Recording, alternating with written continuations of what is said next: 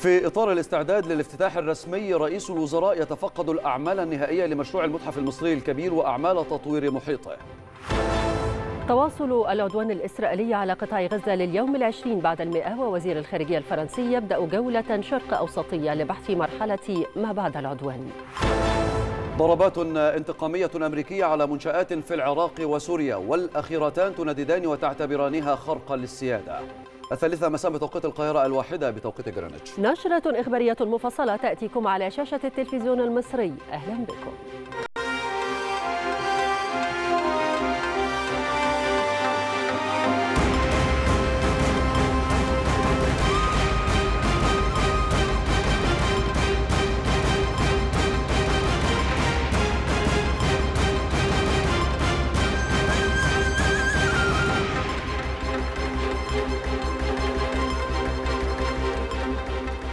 تفقد الدكتور مصطفى مدبولي رئيس مجلس الوزراء الموقف التنفيذي للأعمال بمشروع المتحف المصري الكبير في إطار التجهيز للافتتاح الرسمي. وقال رئيس الوزراء إنه كان هناك حرص شديد خلال الفترة الماضية على متابعة أدق التفاصيل خلال تنفيذ مختلف الأعمال الإنشائية والهندسية وتنظيم قاعات العرض للقطع الأثرية. كما قام رئيس الوزراء بزيارة المتجر الكبير الذي يقع في نطاق المتحف والذي يعرض مستنسخات من القطع الأثرية المعروضة بداخل القاعات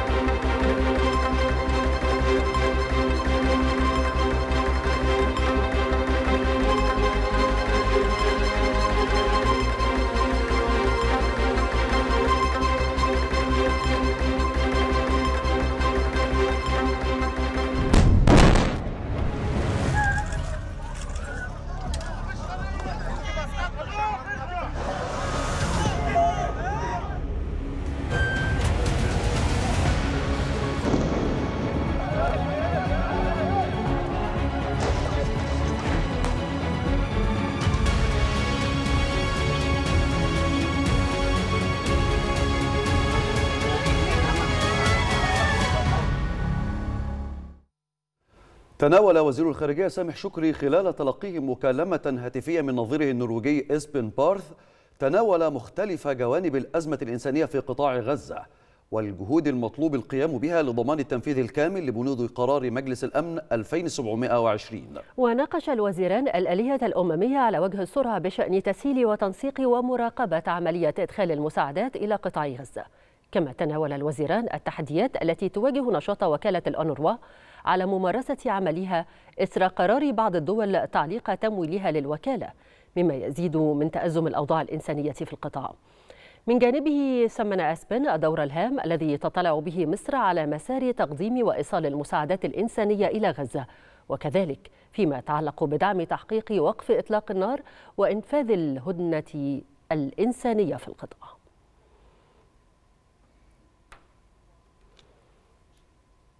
يعقد وزير الخارجية سامح شكري غدا مباحثات مع وزير أوروبا والشؤون الخارجية الفرنسي ستيفان سيغري.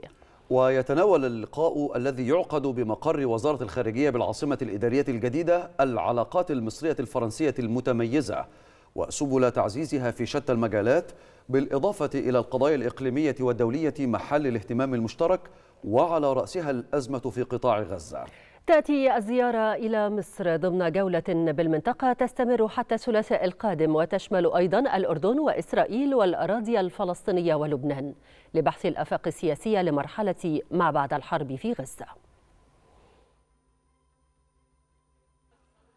مع اشتعال الأوضاع في منطقة شرق الأوسط على خلفية استمرار العدوان الإسرائيلي على غزة يبدأ وزير الخارجية الفرنسي ستيفان سيورني جولة شرق أوسطية تستمر حتى الثلاثاء المقبل وتتمحور حول الآفاق السياسية لمرحلة ما بعد الحرب في غزة وفق ما أعلنت عنه الخارجية الفرنسية. الجولة التي ستكون الأولى للمسؤول الفرنسي في المنطقة ستقوده إلى مصر والأردن وإسرائيل والأراضي الفلسطينية ولبنان وتأتي في إطار التنسيق الوثيق بين فرنسا وشركائها الإقليميين من أجل تنفيذ المبادرة الفرنسية السلام والأمن للجميع التي تهدف إلى إحلال السلام في المنطقة. ويسعى سيغورنيه في جولته إلى العمل للتوصل إلى وقف لإطلاق النار والإفراج عن المحتجزين وإقناع الأطراف بإعادة فتح الأفق السياسي استنادا إلى مبدأ حل الدولتين. وفيما يتعلق بمرحلة ما بعد الحرب في غزة فإن الموقف الفرنسي ينظر إلى مستقبل غزة على أساس أنه يندرج في إطار دولة فلسطينية موحدة. وأكدت الخارجية الفرنسية أن باريس رفضت وترفض على الدوام إقامة مستوطنات في غزة وتهجير الفلسطينيين. وتأتي الجولة في خضم مفاوضات من أجل التوصل إلى هدنة جديدة بعدما أتاحت الهدنة المؤقتة التي تم التوصل إليها في نهاية نوفمبر الماضي واستمرت اسبوعا أتاحت الافراج عن محتجزين من قطاع غزة مقابل إطلاق سراح أسرى فلسطينيين من السجون الإسرائيلية. يبدأ وزير الخارجية الأمريكي أنتوني بلينكن غدا الأحد جولة خامسة بالمنطقة. تشمل مصر وقطر وإسرائيل والضفة الغربية المحتلة والسعودية. وأفاد بلينكن أنه سيسعى خلال جولته للعمل على سلام دائم في المنطقة بما في ذلك أمن مستدام للإسرائيليين والفلسطينيين على حد سواء. كما سيبحث مقترحا للإفراج عن المحتجزين الإسرائيليين مقابل تعليق للعدوان الإسرائيلي على قطاع غزة. This also underscores one of the many ways in which Putin's aggression against Ukraine has been an abject strategic failure for Russia. How it is, in, in fact, أكد رئيس البرلمان العربي عادل العسومي استمرار البرلمان العربي في خطة تحركه لدعم القضية الفلسطينية على كافة المستويات وفي كافة المحافل الدولية باعتبارها قضية العرب الأولى والمركزية. وخلال لقاء مع مندوب دولة فلسطين الدائم لدى جامعة الدول العربية السفير مهند العكلوك لبحث بحث الجانبان آخر مستجدات الوضع في دولة فلسطين والتحركات على المستوى الدولي لوقف عدوان كيان الاحتلال الإسرائيلي. إذ أشار العسومي إلى مواصلة تحركات البرلمان العربي مع البرلمانات الإقليمية والدولية والاتحادات البرلمانية الدولية لإيقاف حرب الإبادة الجماعية التي يشنها جيش الاحتلال الإسرائيلي ضد الشعب الفلسطيني.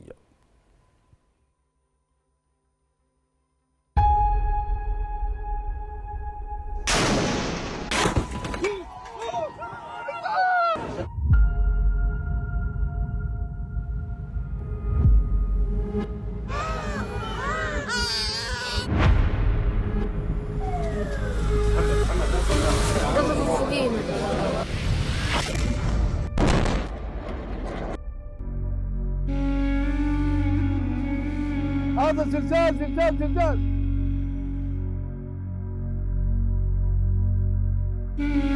يا رب ارفع عنا يا رب. اضافرنا إن شاء الله غير نطلع نطلعهم من أر... من أراضينا. غصب عنهم.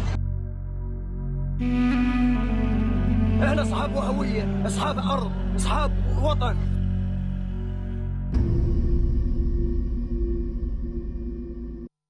ميدانيا أعلنت السلطات الصحية في قطاع غزة ارتفاع عدد ضحايا العدوان الإسرائيلي المستمر على القطاع إلى 27238 شهيدا و66452 مصابا منذ السابع من أكتوبر الماضي. أضافت السلطات الصحية في غزة أن جيش الاحتلال الإسرائيلي ارتكب 12 مجزرة ضد المدنيين خلال 24 ساعة أخيرة. مما أسفر عن استشهاد 107 وإصابة 165 آخرين.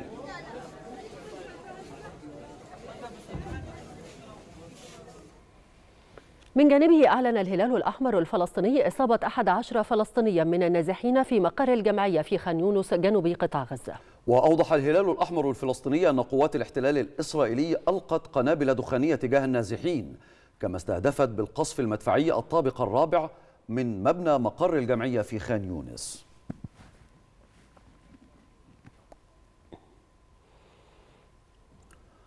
اقتحمت قوات الاحتلال الإسرائيلي مدينة طوباس شمال الضفة الغربية المحتلة. وأفادت مصادر محلية فلسطينية بأن قوات الاحتلال اقتحمت المدينة بعدة آليات وانتشرت في عدة أحياء وداهمت عددا من منازل المواطنين الفلسطينيين.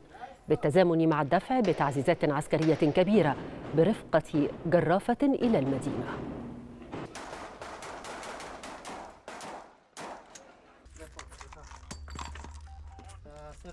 מצאנו כל הנשקים האלה, כולל מטענים. מצאנו פיר. זה היה גן ילדים מבחוץ.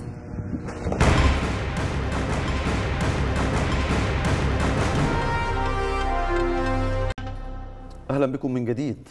نشرة الثالثة تتواصل معكم وما زلنا مع أصداء القضية الفلسطينية.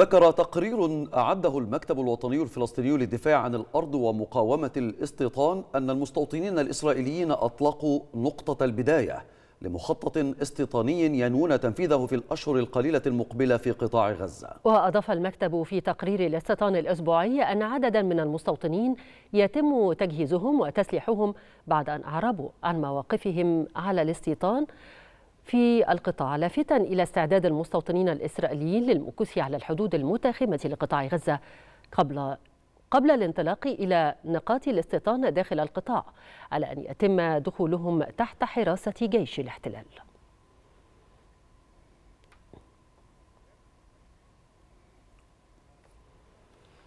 طالب الهلال الأحمر الفلسطيني بالكشف عن مصير الطفلة هند وطاقم تابع للهلال الأحمر بعد انقطاع الاتصال بهم كانت الطفلة هند قد استغاثت قبل أكثر من خمسة أيام بالهلال الأحمر الفلسطيني بعد تعرض سيارة تقلها مع أفراد من أسرتها إلى إطلاق نار من قوات الاحتلال الإسرائيلي مما استدعى إرسال الطاقم لإنقاذ الطفلة قبل انقطاع الاتصال بهم جميعاً.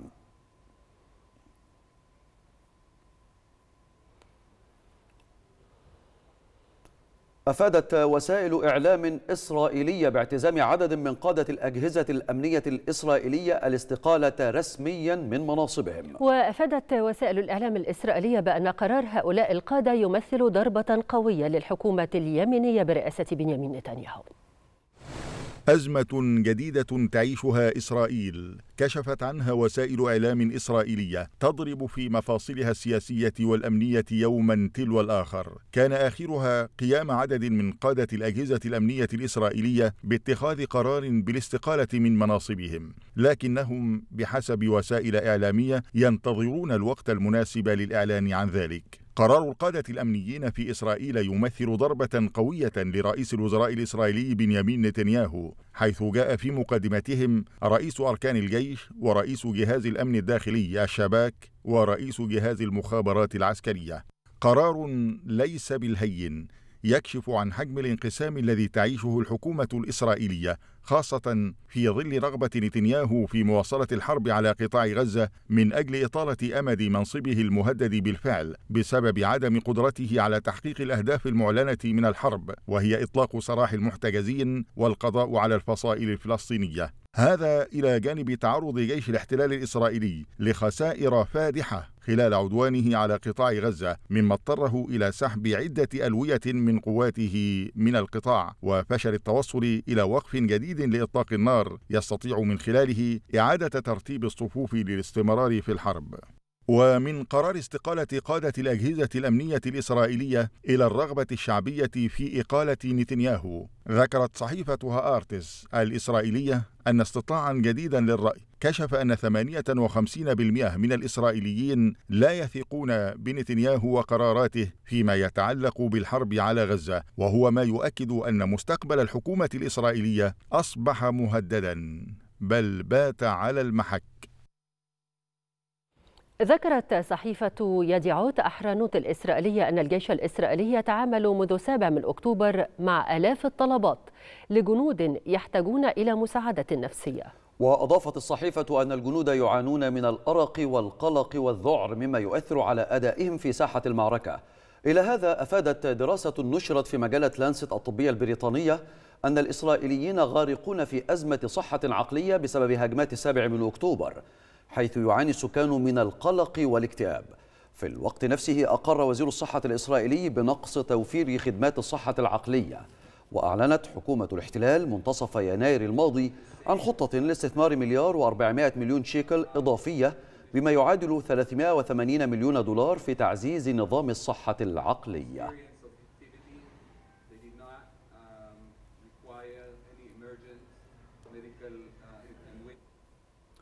نتابع مع حضراتكم مشاهدينا الكرام مظاهرات ضخمة في العاصمة البريطانية لندن تأييدا للقضية الفلسطينية ومطالبة بوقف إطلاق النار في غزة وإيصال المساعدات إلى القطاع.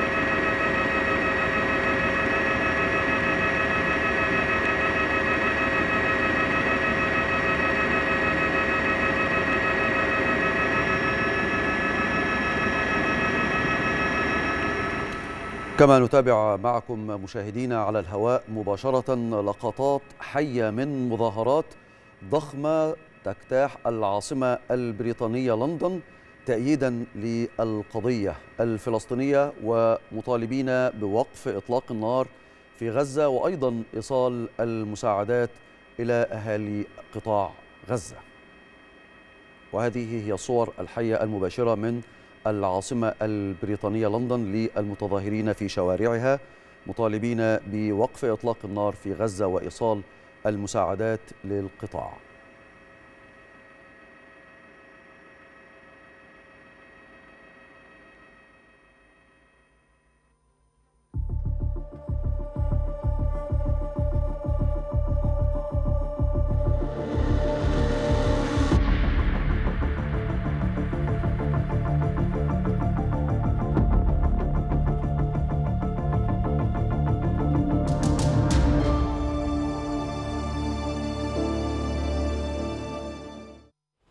حذرت وزارة الخارجية والمغتربين الفلسطينية من التداعيات الكارثية لهجوم جيش الاحتلال على مدينة رفح الفلسطينية. جنوب قطاع غزة. وفي بيان لها اعتبرت الخارجية الفلسطينية أن الهجوم يمثل جريمة إبادة لنحو مليون ونصف المليون مواطن فلسطيني في مسعى لتهجيرهم قسريا مستنكرة فشل وعجز وعجز المجتمع الدولي ليس فقط في وقت الحرب وإنما في الضغط على سلطات الاحتلال لإدخال المساعدات الإنسانية لسكان قطاع غزة وتوفير احتياجاتهم الأساسية وتجنيبهم ويلات الحرب.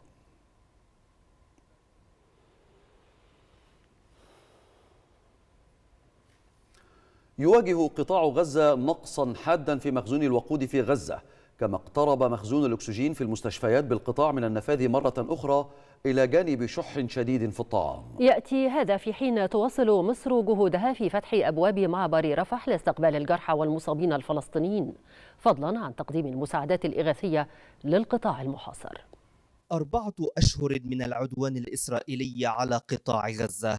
عدوان خلف وراءه آلاف الشهداء والمصابين ليجعل ذاكرة العالم تسجل وتحفظ العديد من الصور المؤلمة في أذهان وقلوب الشعوب المتضامنة. وعلى رأس هذه الشعوب يأتي الشعب المصري الذي فتحت قيادته أبواب معبر رفح البري منذ اللحظة الأولى للعدوان لاستقبال الجرحى والمصابين الفلسطينيين. ليأتي الأطفال والرجال والنساء محملين بقصص ومشاهد مشاهد لا تنسى وثقها هذا الصراع الدائر في الأراضي الفلسطينية والتصعيد الإسرائيلي على قطاع غزة الذي لم يفرق بين صغير وكبير. باحثين عن ما يداوي جراحهم وآملين في العودة مرة أخرى لأرض مستقلة وآمنة. أنا بشكر جمهورية مصر العربية الشقيقة طبعا من كل قلبي وبشكر كل الطواقم اللي استقبلتنا سواء على المعبر من دخول جمهورية مصر العربية الشقيقة وحتى وصولنا مستشفى بورسعيد الرمد وكل الطاقم الموجود فيها. بشكر كل جميع الطاقم المصري. كل طاقم المصري بشكره كثير السلام.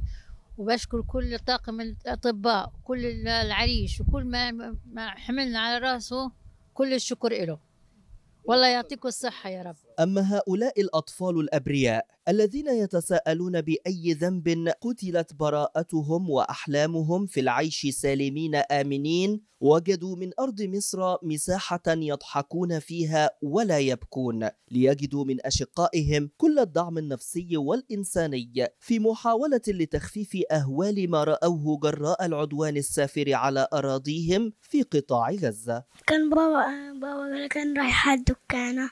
راح يجيب سكر وأنا رحت لحقته. بعدين أخويا محمد قال لي قال لي ما تطلعش رحت؟ رحت طلعت. بعدين بعدين بابا اجى يتكلم مع أصحابه صارت الضربة وبس. أنا منطقة اسمها درب بلح كنت أنا وأنا عند أمي عند ماما وبابا وبلعب كنت. صار القصف لي كنت جريت جريت لي اجتني الشظية. وصحيت. لقيت حالي في المستشفى بعد العملية ومتغرز. واخوي جنبي. دور كبير تقوم به مصر في دعم الأشقاء الفلسطينيين باستقبال المصابين والجرحى في المستشفيات المصرية وتخصيص وحدات سكنية للمرافقين والعالقين وتجهيز واستقبال وإرسال المساعدات الإنسانية عبر معبر رفح البري الذي دخل من خلاله أكثر من تسعة آلاف شاحنة محملة بالمواد الغذائية والإغاثية. وعلى الرغم من أن هذا لا يكفي بسبب الإجراءات الإسرائيلية الإسرائيلية على هذه الشاحنات لكن لا زالت مصر تواصل جهودها حتى الوصول لوقف إطلاق نار كامل ودخول أكبر عدد من المساعدات الإنسانية وأن يكون هناك قرارات تشفي صدور قوم لم يذنبوا ولم يطلبوا شيئا أقصى من التمسك والعيش على أرضهم بعد عودتها لأصحابها. محمود جميل التلفزيون المصري. أفاد مصدر مسؤول بدخول 106 شاحنات إلى قطاع غزة عبر ميناء رفح البري من بينها 100 شاحنة محملة بمساعدات إنسانية متنوعة وأربع شاحنات وقود وشاحنتان أخريتان محملتان بغاز الطهي. وأشار المصدر إلى استقبال 447 شخصا من بينهم 40 جريحا و30 مرافقا فلسطينيا بالإضافة إلى 250 فردا و45 من حاملي الجوازات الأجنبية و82 يحملون جوازات مصرية.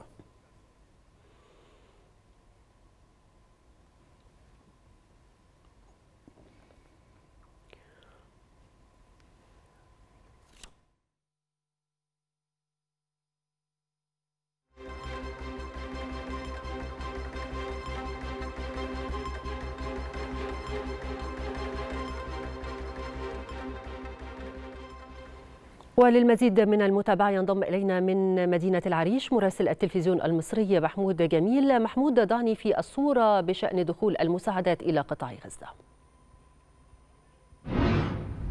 تحياتي لك هبه ولكل السادة المشاهدين إدخال المساعدات الإنسانية مستمر وتجهيز أيضا مزيد من المساعدات الإنسانية داخل المخازن التابعة للهلال الأحمر المصري. لكن منذ قليل أيضا فيما يتعلق بالمساعدات التي تأتي عبر الطائرات في مطار العريش وصلت طائرة تركيه على متنها 53 طن من المواد الإغاثية والبطاطين. كل هذه المساعدات يعني يقوم متطوعو الهلال الأحمر المصري بتفريغ الطائرة من هذه الشحنات ثم حملها على السيارات لنقلها إلى مخازن الهلال الأحمر والمركز اللوجستي للهلال الأحمر المصري لتجهيز هذه المساعدات مع غيرها من المساعدات الموجودة داخل المخزن لإرسالها إلى معبر رفح لدخولها إلى قطاع غزة. على الجانب الآخر أيضا لازال استقبال المصابين كما ذكرتم ودخول الشاحنات المساعدات عبر معبر رفح ويقدم لهم كل الخدمات الإنسانية والدعم النفسي أيضا المقدم للمصابين والجرحى لكن أيضا معبر رفح غدا سيكون على موعد مع زيارة هامة لوفد من البرلمان الفرنسي. هذا الوفد الذي سيأتي للقائه بعدد من المسؤولين وسيلتقي أيضا بمسؤولي الهلال الأحمر هنا في مدينة العريش والهلال الأحمر الفلسطيني أمام معبر رفح. بالإضافة إلى الحديث أيضا مع منظمي ممثلي منظمة الأونروا داخل قطاع غزة وأيضا سيتم إطلاعهم على المجهود المصري المبذول في إدخال المساعدات وأيضا هم يعني سيطالبون بضرورة وقف إطلاق نار كامل. وهذه الزيارة تتزامن أيضا مع زيارة وزير الخارجية الفرنسي غدا إلى القاهرة ولقائه بالسفير سامح شكري. وبالتأكيد هذه هي زيارة لمنطقة الشرق الأوسط للوصول لوقف إطلاق نار كامل وبالتأكيد مصر على رأس هذه الدول التي يعني يعول عليها في الوصول إلى حل وقف إطلاق النار كامل في قطاع غزة وإدخال مزيد من المساعدات الإنسانية. لكن فيما يتعلق أيضا بالشق الإنساني مصر بدأت في تجهيز المطبخ في مدينة الشيخ زويد لتجهيز عدد من الوجبات الغذائية اليومية لإرسالها إلى الأشقاء في قطاع غزة وإلى النازحين. هذا بالإضافة إلى استمرار العمل في المخيم الإغاثي الموجود في مدينة خان يونس والذي أقامته جمعية الهلال الأحمر المصري بناء على توجيهات القيادة السياسية لإيواء النازحين من شمال غزة. حتى هذه اللحظة وصل هذا المخيم إلى أكثر من ألف خيمة ويقدم كل الوجبات الغذائية وأيضا كل المستلزمات الصحية والدعم الصحي والنفسي لهم تنفيذا لتوجيهات القيادة السياسية بضرورة دعم الأشقاء الفلسطينيين داخل قطاع غزة. نعم وهي الجهود المصرية بالطبع المستمرة على كافة المستويات لحل القضية الفلسطينية ودعم سكان أهالي غزة بشكل خاص. أشكرك محمود جميل مراسل التلفزيون المصري من مدينة العريش. أعلن رئيس الوزراء العراقي محمد شياع السوداني عن مقتل 16 شخصا وإصابة 25 آخرين إثر موجة جديدة من الضربات الأمريكية على العراق. وفي بيان نفى رئيس الوزراء العراقي تنسيق الولايات المتحدة مع بغداد بشأن الضربات الجوية مؤكدا أن التحالف العسكري الذي تقوده الولايات المتحدة يهدد الأمن والاستقرار في العراق. يأتي ذلك فيما نددت إيران بشدة بالضربات الأمريكية على العراق وسوريا. مؤكدة أنها انتهاك لسيادة البلدين ووحدة أراضيهما. موجة أولى من الضربات الانتقامية الأمريكية ضد منشآت في العراق وسوريا بدعوى ارتباطها بالحرس الثوري الإيراني والفصائل التي يدعمها. بعد هجوم على الحدود السورية الأردنية أدى إلى مقتل ثلاثة جنود أمريكيين وإصابة نحو أربعين آخرين. ومع تأكيد أمريكي بعدم الرغبة في الدخول في الصراع في الشرق الأوسط أو في أي مكان آخر استهدفت الضربات الأمريكية أهدافا تشمل مراكز قيادة وتحكم ومنشآت لتخزين صواريخ وقذائف وطائرات مسيرة وكذلك منشآت لوجستية وسلاسل إمداد ذخيرة. وأضافت القيادة المركزية الأمريكية أن الضربات استهدفت 85 هدفا في سبعة مواقع أربعة في سوريا وثلاثة في العراق وشملت استخدام قاذفات بي 1 طويلة المدى والتي انطلقت من الولايات المتحدة. الليفتنانت جنرال دوغلاس سيمز مدير العمليات بهيئة الأركان المشتركة الأمريكية أكد أن الضربات كانت ناجحة وأدت إلى انفجارات ثانوية كبيرة عندما أصاب القصف أسلحة المسلحين. القوات المسلحة العراقية من جانبها وصفت الضربات الأمريكية بأنها اختراق للسيادة العراقية وستكون سببا في أن تشعل عدم الاستقرار بالمنطقة وتقويضا لجهود الحكومة العراقية بل وتهديد يجر العراق والمنطقة إلى ما لا يحمد عقباه. الموقف ذاته جاء على لسان الجانب السوري وفق بيان لوزارة الدفاع والذي أكد أن الضربات الأمريكية تسببت في مقتل عدد من المدنيين والعسكريين وإصابة آخرين وتركت من ورائها أضرارا كبيرة بالممتلكات العامة والخاصة كما شددت وزارة الدفاع السورية على استمرار قواتها في حربها ضد الإرهاب حتى القضاء عليه وعزمها على تحرير كامل الأراضي السورية. الضربات الأمريكية جاءت في وقت يخشى فيه الخبراء من أنه قد يزيد من تعقيدات وجود القوات الأمريكية في العراق في ظل الاتفاق القائم بين بغداد وواشنطن بشأن مستقبل التحالف والذي تقوده الولايات المتحدة في العراق ووضع إطار زمني للانسحاب على مراحل وإنهاء التحالف الذي تقوده الولايات المتحدة. استخدمت الولايات المتحدة قاذفات بي 1 المتحدة. هذه القاذفات استخدمتها في الضربات الجوية في العراق وسوريا وذلك في رحلة بدون توقف من الولايات المتحدة. وتحمل هذه القاذفات متعددة المهام أكبر حمولة تقليدية من الأسلحة الموجهة وغير الموجهة في مخزون القوات الجوية الأمريكية.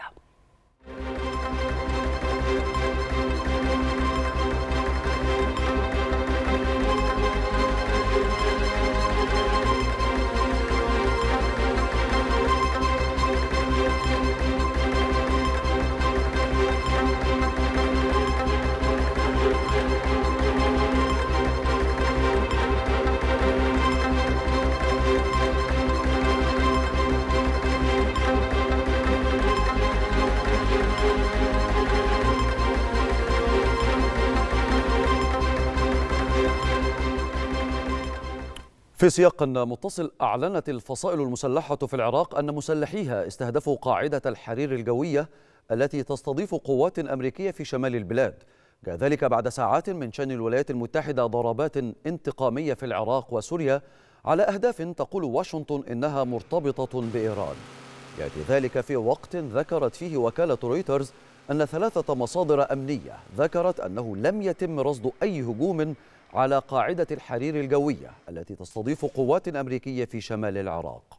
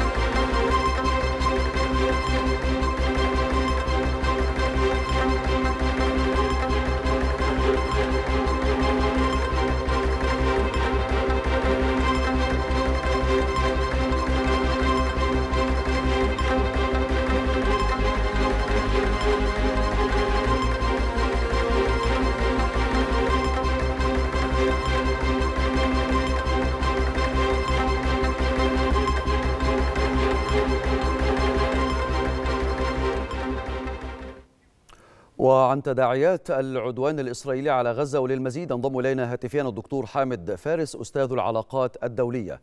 دكتور حامد مصر منذ بداية العدوان وحذرت من اتساع رقعة التوترات والصراعات وقد حدث.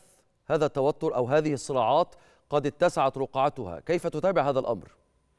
أهلا بيك يا أستاذ يوسف واهلا بالسادة مشاهدي التلفزيون المصري. طبعا دعني أؤكد لك أن الرؤية المصرية تتحقق الآن على واقع الأرض ولم يعني يدرك أحد خطورة ما يحاك للمنطقة ولم يدرك أحد خطورة ما تحدثت به الدولة المصرية من أن استمرار الصراع واستمرار العدوان الإسرائيلي على قطاع غزة سيمثل يعني خطورة داهمه على أمن واستقرار الشرق الأوسط بل والعالم أجمع في ظل أننا نشهد الآن ما حذرت منه الدولة المصرية مرارا وتكرارا أن هذا التصعيد سيؤدي إلى أن كرة الثلج تكبر يوم بعد يوم وأن الصراع يمتد من منطقة لأخرى وأن الرد الأمريكي سيؤدي إلى رد آخر وأيضا اتساع الصراع في البحر الأحمر وباب المهد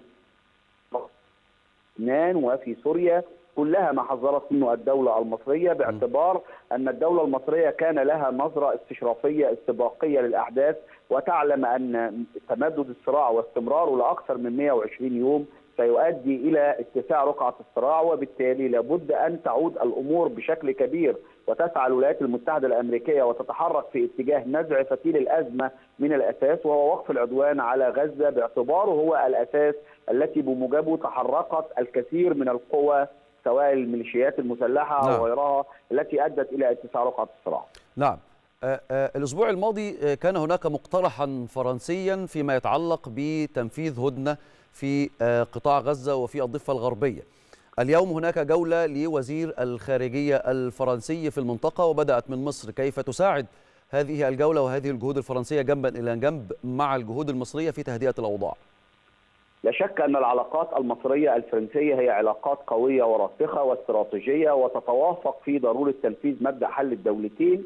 لا- لابد أن نعود إلى الخلف قليلا ونتحدث عن الزيارة المهمة اللي قام بها الرئيس ماكرون إلى القاهرة والتقى الرئيس السيسي وتحدثا سويا في ضرورة تنفيذ مبدأ حل حل الدولتين وأقامة دولة فلسطينية. والرؤية المصرية والسردية المصرية والتباحث بين الرئيسين الكبيرين نقلها الرئيس ماكرون بعدما تحرك إلى اجتماعات الاوروبي بشكل واضح بعد ذلك بيوم واحد فقط وتبنى ضرورة وقف شامل لإطلاق النار، ضرورة كسر الحصار عن قطاع غزة، ضرورة تنفيذ مبدأ حل الدولتين. والآن الجهود تتواصل زيارة مهمة لوزير الخارجية الفرنسي والزيارة الأولى تكون للقاهرة كدلالة قوية على أن فرنسا تنظر للدولة المصرية باعتبارها هي التي تعول عليها لاستقرار الأوضاع في المنطقة وبأن مصر هي القادرة على آه، ترطيب وتلطيف الأجواء بما ينعكس ايجابيا على خفض التصعيد في كل بقعة من بقاع الشرق الأوسط.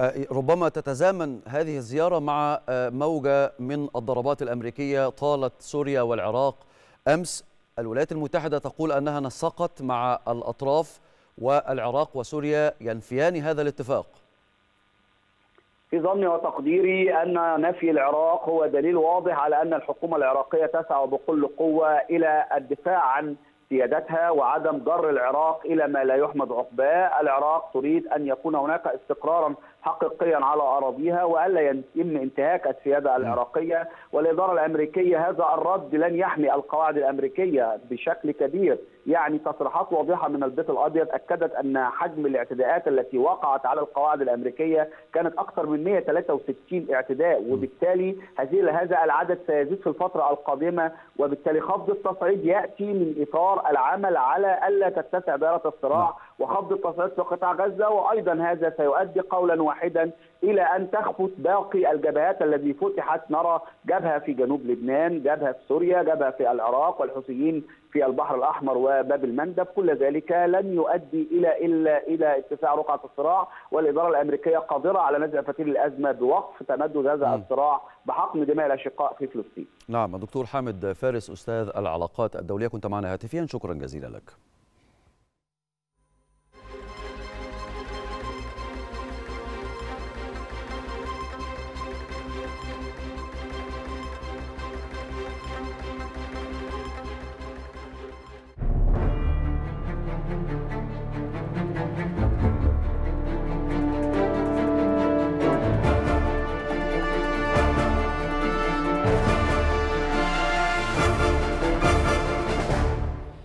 أعلن مصدران مطلعان أن الحكومة الأوكرانية أبلغت البيت الأبيض بأنها تخطط لإقالة أكبر قائد عسكري في البلاد يشرف على الحرب ضد القوات الروسية.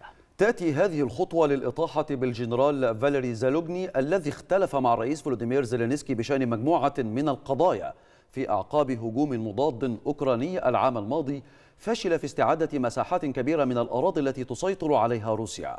وقال مصدر مقرب من مكتب زيلينسكي إن الرجلين دخلا في نزاع حول حملة تعبئة عسكرية جديدة إذ يعارض الرئيس اقتراح زالوجني بتعبئة 500 ألف جندي جديد لكن المصدر أضاف أن عملية إعفاء زالوجني من منصبه كقائد للقوات المسلحة الأوكرانية معلقة في الوقت الحالي بينما يعمل الجانبان على خطواتهما التالية.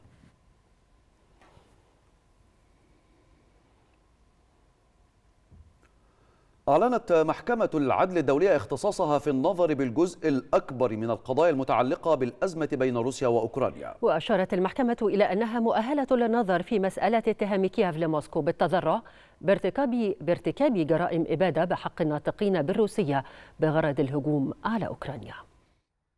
مع قرب إكمال الأزمة الأوكرانية عامها الثاني تبحث كييف عن خيارات فعالة تغير بها الواقع الميداني المرجح لكفة موسكو على الأراضي الأوكرانية. فبعد يومين فقط من بدء روسيا عمليتها العسكرية الخاصة في أوكرانيا توجهت السلطات الأوكرانية في السادس والعشرين من فبراير عام 2022 لمحكمة العدل الدولية للدفاع عن نفسها ضد اتهامات موسكو لها بارتكاب جرائم إبادة جماعية بحق الناطقين بالروسية في أوكرانيا ونفت كييف تلك الاتهامات.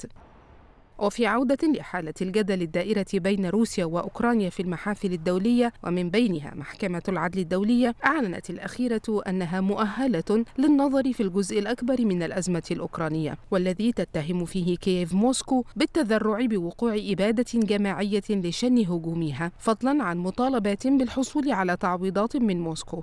محكمة العدل الدولية التي تتخذ من لاهاي بهولندا مقرا لها أشارت أيضا إلى عدم تمتعها بالسلطة القضائية للحكم في الجزء المتعلق بمزاعم أوكرانيا بأن الهجوم الروسي في ذاته يشكل انتهاكا لاتفاقية الإبادة الجماعية. محكمة العدل الدولية التي يتردد اسمها بشكل مستمر خلال الفترة الراهنة بسبب محاكمة إسرائيل على جرائمها في قطاع غزة كانت قد أصدرت في مارس عام 2022 قرارا أوليا تأمر بموجبه روسيا بالتعليق الفوري لعملياتها العسكرية المستمرة في أوكرانيا. فما كان من موسكو إلا معارضة الحكم قائلة إن المحكمة التي تفصل في النزاعات بين الدول غير مختصة للنظر في القضية وهو ما قابلته المحكمة المحكمة بالرفض مؤكدة أنها تتمتع بالسلطة القضائية اللازمة.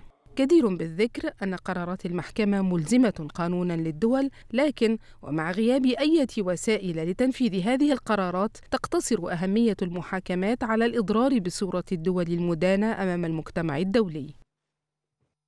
أعلنت السلطات الروسية إخماد حريق نشب في مصفاة فولغوغراد النفطية بجنوب البلاد بعد هجوم بطائرة مسيرة. وقال أندري بوتشاروف حاكم فولغوغراد إن الحادث لم يسفر عن وقوع إصابات مشيرا إلى أن فرق الإطفاء والإنقاذ تمكنت من السيطرة على النيران فوراً.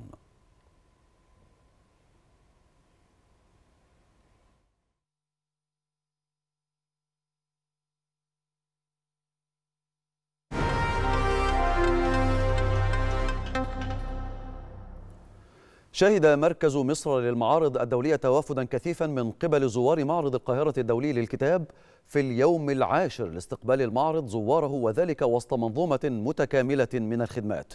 واصطف زوار معرض القاهرة للكتاب في طوابير ممتدة أمام البوابات وسط حرص القائمين على المعرض والمتطوعين على بذل كل الجهود للتسهيل على الزوار ومنع الازدحام.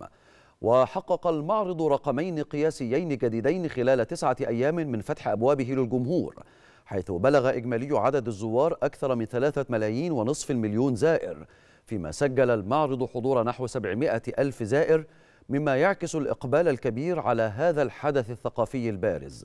وأكدت وزارة الثقافة أن المعرض تفرد هذا العام بالعديد من المشاهد الاستثنائية واستطاع تقديم وجبة ثقافية متنوعة جمعت بين الثقافة والفن والأدب والشعر وغيرها من ضروب الثقافة المتنوعة.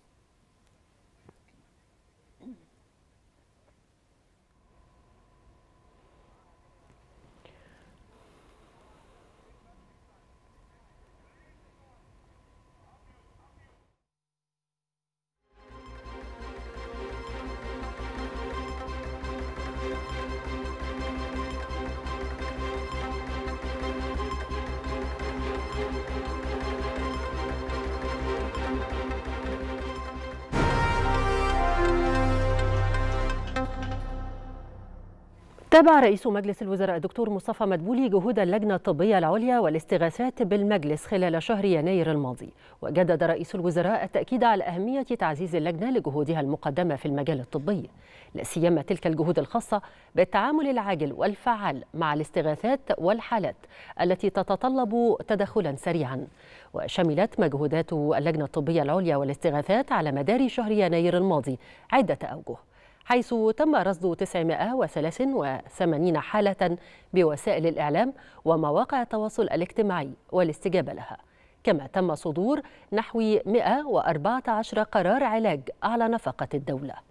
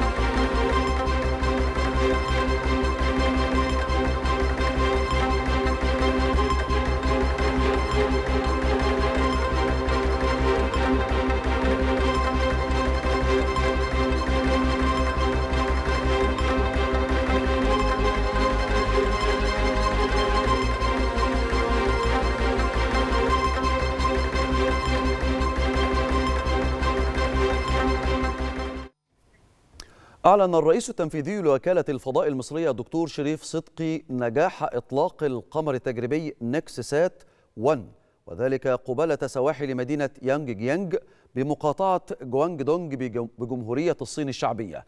وأكد صدقي أنه تم استقبال الإشارات الأولوية الأولية من القمر التجريبي من أول مرة بنجاح بمقر وكالة الفضاء المصرية. موضحا أن عملية الإطلاق تأتي ضمن البرنامج الفضائي الوطني المصري لتطوير تكنولوجيا الأقمار الاصطناعية.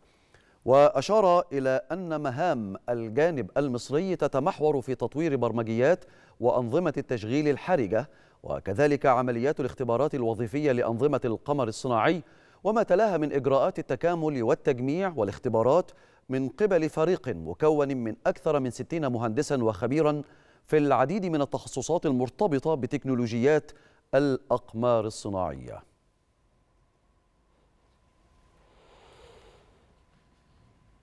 أطلقت مؤسسة راعي مصر للتنمية احتفالية بعنوان حكاية راعي مصر وذلك في قصر عابدين بوسط وسط حضور من شخصيات عامة ومؤسسات مهتمة بالعمل الخيري والأهلي وتحت مظلة التحالف الوطني للعمل الأهلي التنموي.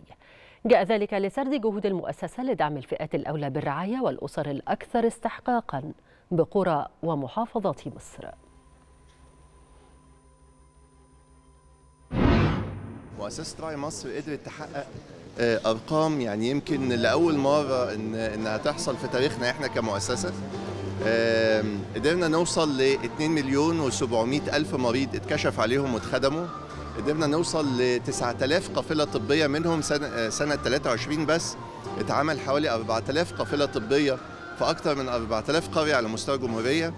قدرنا نوصل ل 20 ألف عملية جراحية. هذه المؤسسة مؤسسة المجتمع المدني اللي هي نموذج للمؤسسات وللحمية الوطنية وللمسؤولية اللي إحنا بنتكلم عليها المسؤولية المجتمعية. فأنا سعيدة بوجودي في هذه الاحتفالية خصوصا إن إحنا كمان وزارة الهجرة هي هي الوزارة التي تعمل مع العديد من مؤسسات المجتمع المدني خدمة للمصريين. مؤسسة راعي مصر. بتعمل خدمات كثيرة جدا جدا للناس المحتاجة. الناس الناس اللي, اللي في حاجات كتير في حياتها كانت تتمنى إن إن تبقى عايشة عيشة أفضل.